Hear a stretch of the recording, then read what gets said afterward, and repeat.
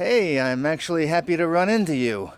WWE's having me cut together a greatest WWE Rise and Falls video package featuring you, which I kind of feel bad about. I've got all your footage from your so called fall, but if you get Kat to get some shots of you dominating your next match, I can try and make it into a Rise and Fall and Rise package.